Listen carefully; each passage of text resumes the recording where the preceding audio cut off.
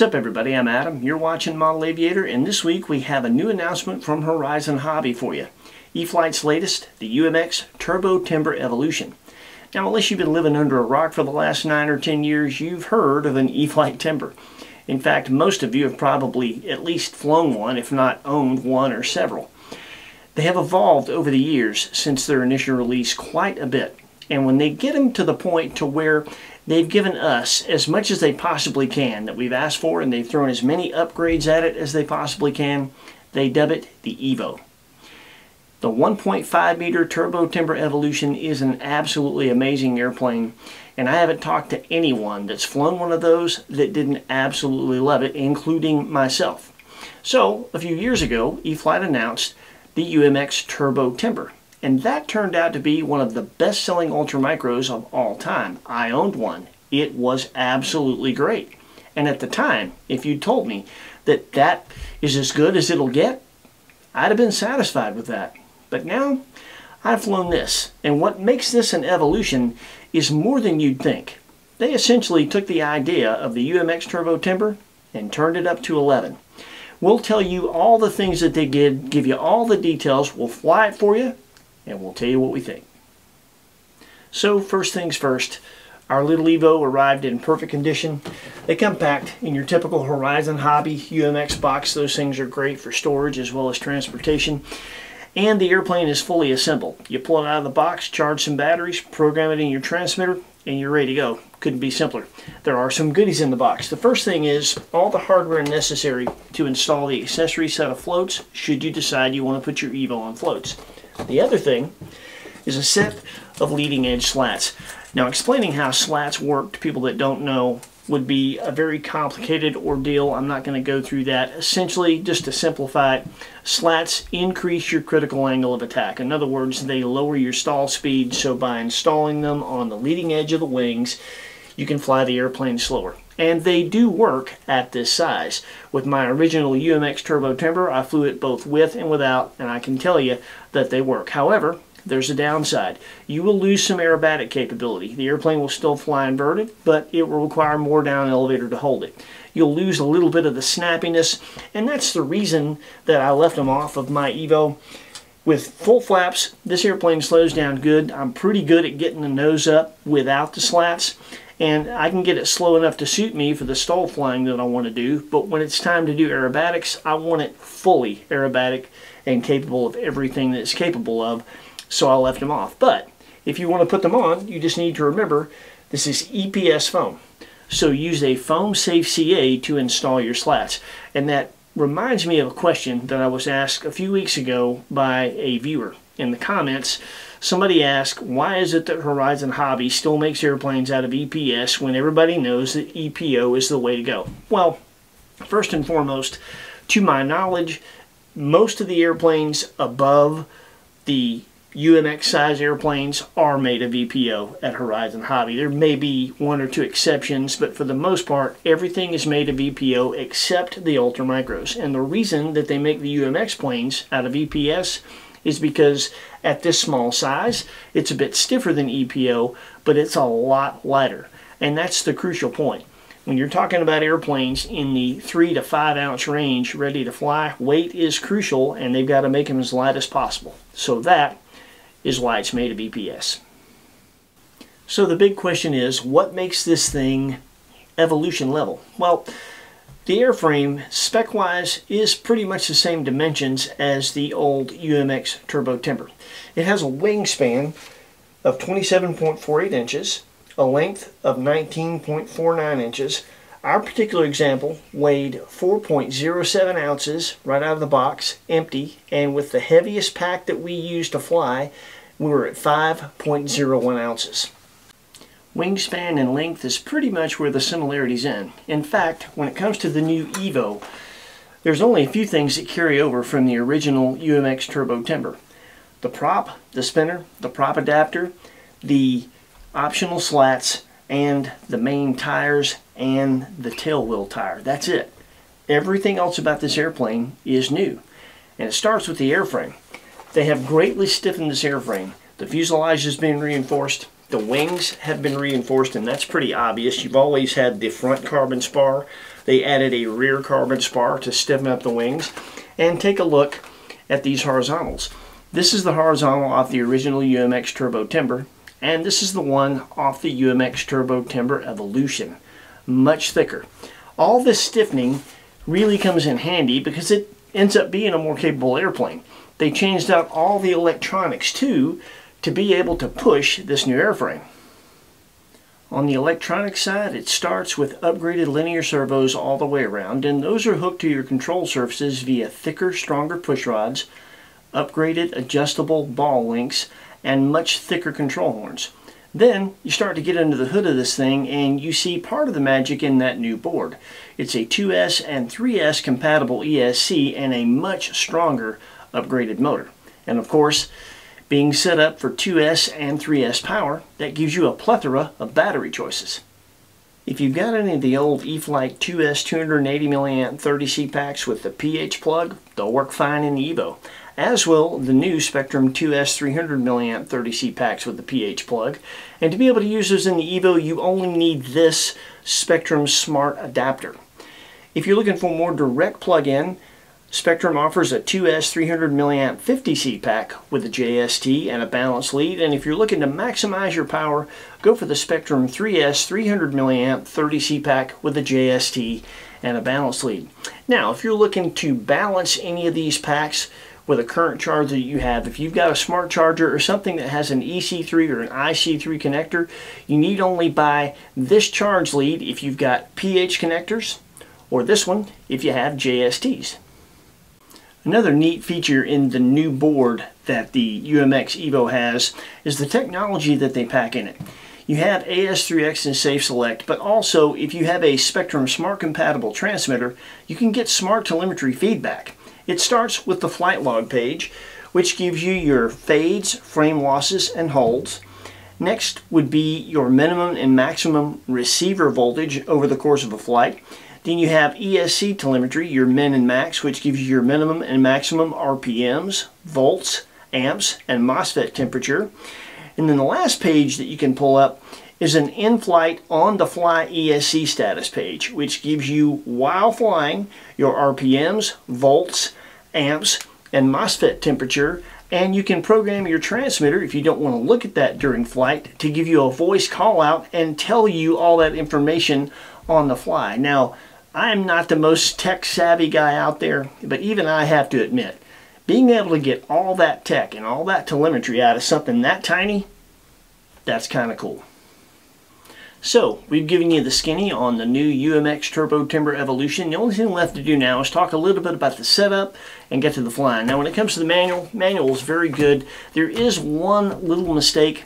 It is a mistake that Horizon Hobby is aware of, and they'll be making an online correction very soon when they're telling you how to program your transmitter, they forgot to put the wing and tail type. So just so you know, the wing type is one aileron, one flap, and the tail type is normal. Now, we set our plane up by the book at first, did a lot of flying by the book, and then we deviated from the book setup a little bit. So about the first eight or ten minutes that you see, that is with the book setup. The airplane flies wonderfully.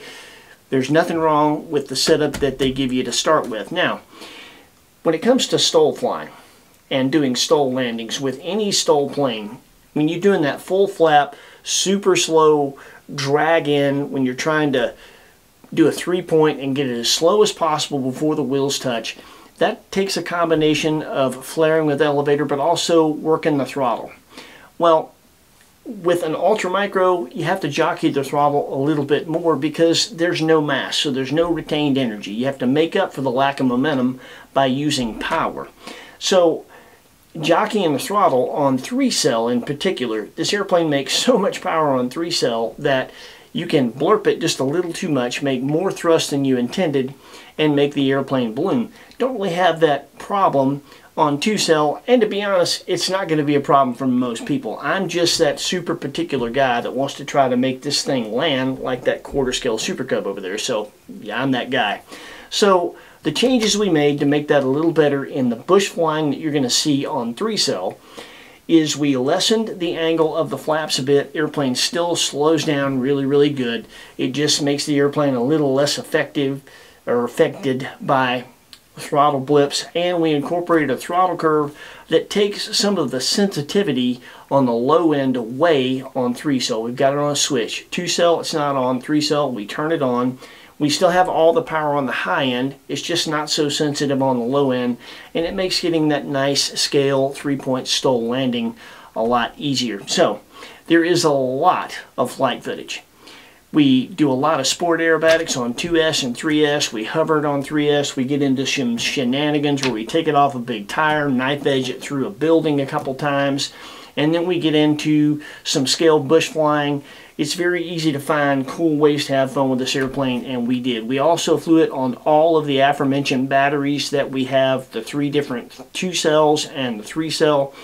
In all the flight footage in the top left hand corner you'll see a graphic that will tell you what battery is being used for the flight footage that you're watching. So now you're going to see our setup with the changes that we made. You're going to see a picture of our throttle curve. You're going to see a ton of really cool flight footage. Check it out. We'll meet you back here and we'll give you our final thoughts.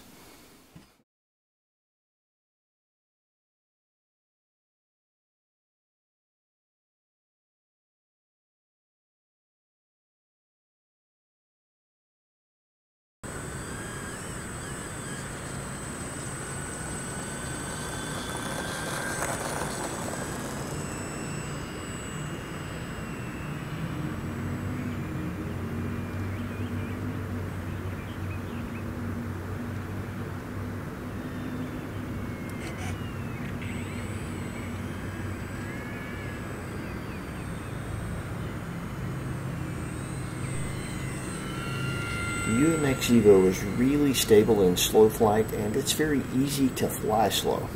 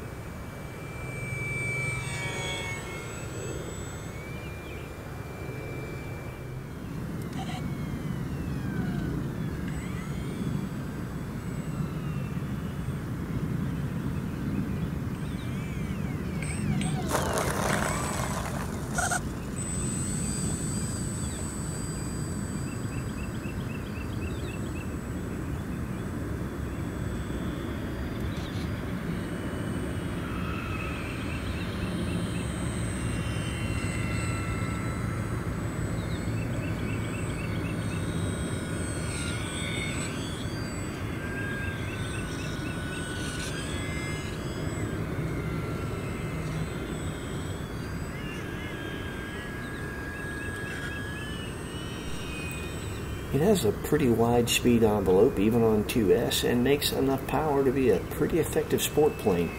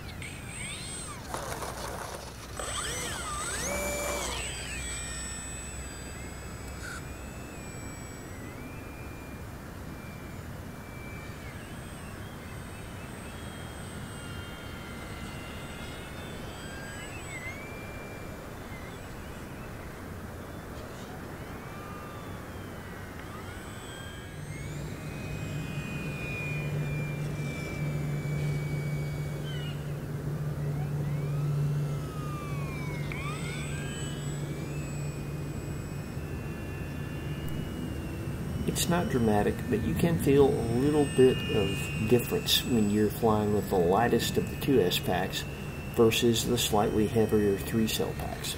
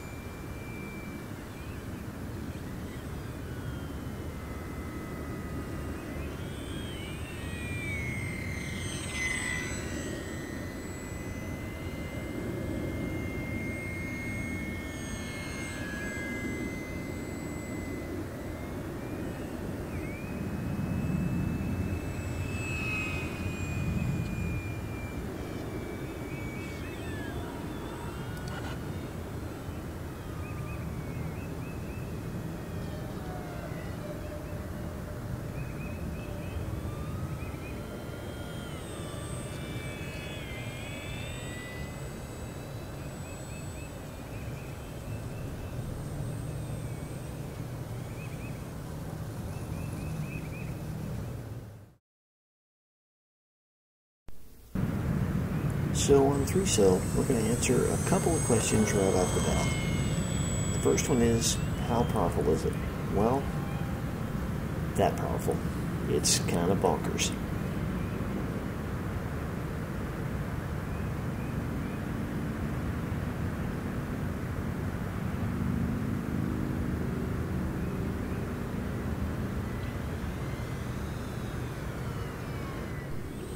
And the other one is, will it hover? Yeah, it will.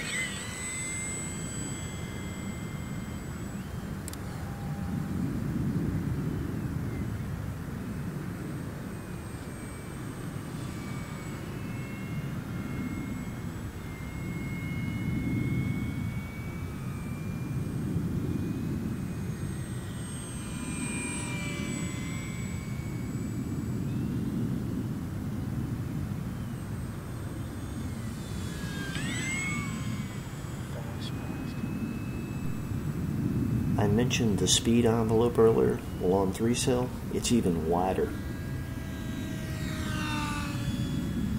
When you get this thing the beams on 3S, it will haul.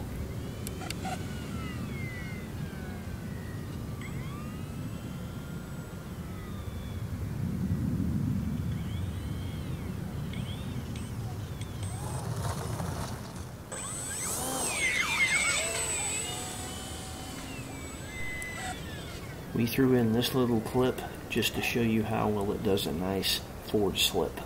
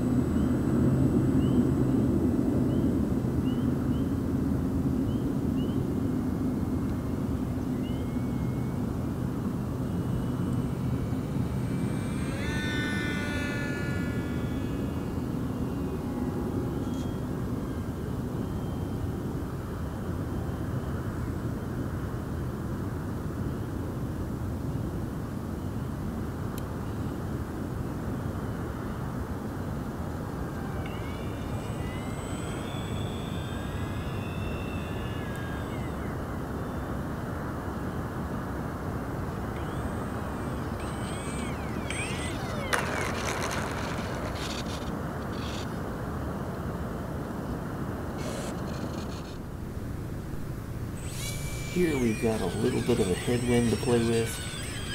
I think a couple more miles an hour, we'd almost be able to stop this thing.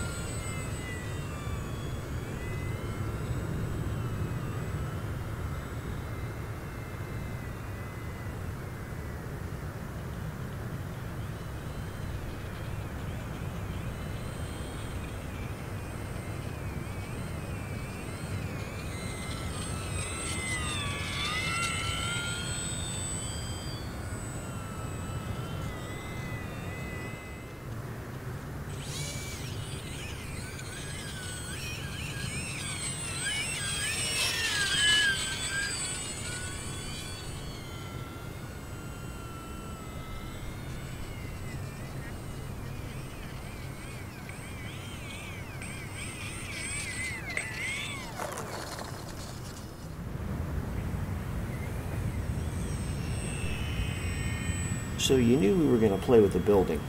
We figured since the airplane is as small as it is, I should at least knife edge through it.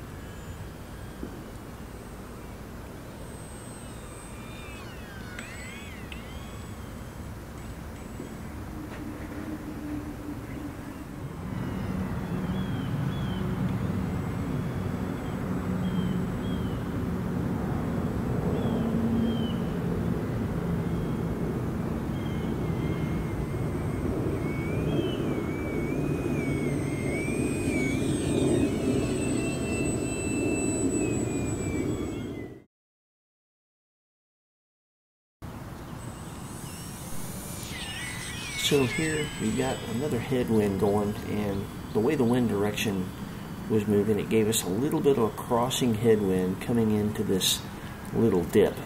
Gave us kind of an uphill, side hill landing. It was pretty fun.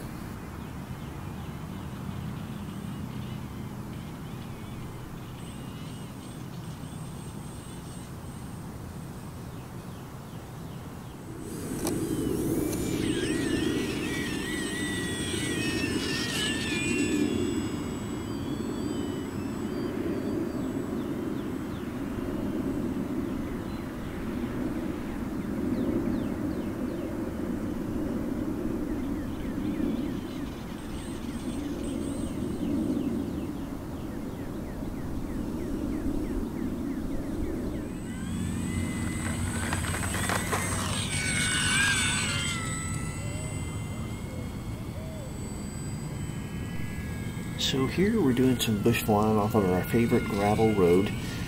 And we picked a couple of different places in the road that we've never used before for this footage. So that's going to be kind of cool and different. And there was some wind on this day at this point, doing some funky stuff off the trees behind me. So it was a bit of a challenge, but with the AS3X, the Evo handled it well.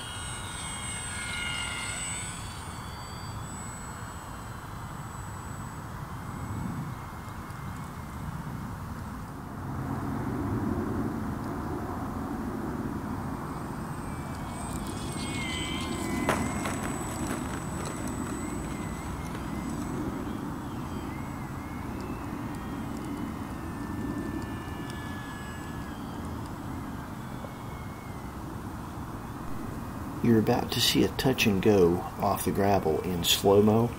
Check out the gear.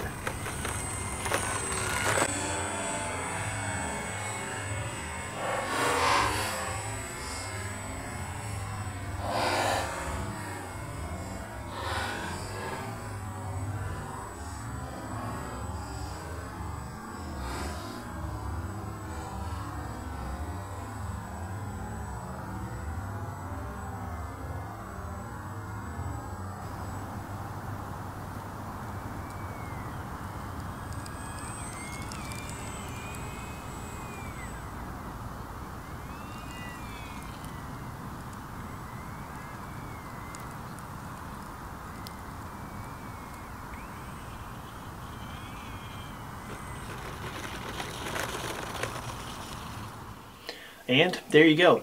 Did you see the slow-mo footage of the gear working across that gravel road there at the end? I was very impressed by that. That gear was bouncing all over the place, but the airframe above it was hardly upset at all. Interesting.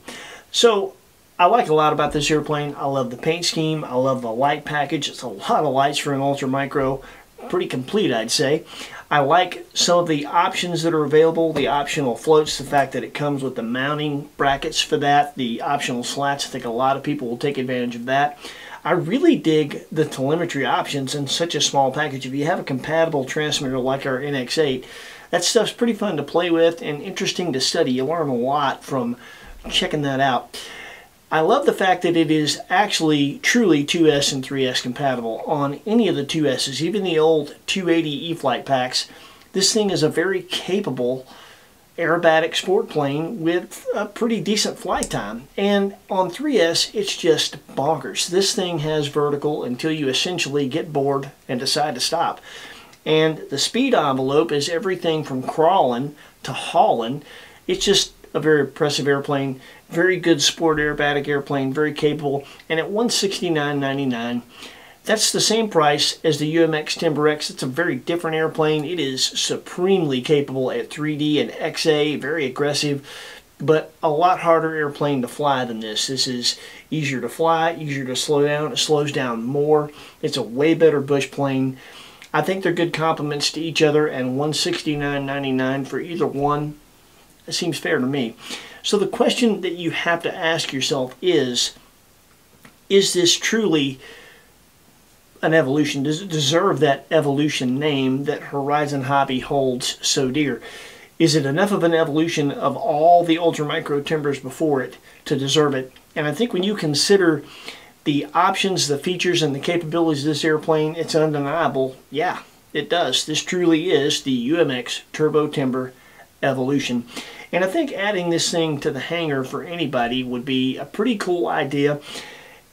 We got remote ID coming here in the States, and the cool thing about anything that weighs less than 8 ounces, of which this does, ready to fly, is it's exempt from that. So even after that stuff passes, when you just want an easy like Sunday morning, laid back good time, you can take something like this out, find yourself a place to fly, a little bush flying anywhere you want, and nobody's going to care. I think that's kind of a selling point in and of itself. Horizon Hobby calls it skill level 2. I agree. That means you're past a trainer. I think it does have safe. It is a high wing. So could you use it as a trainer? Yeah, you could, but there are better trainers out there.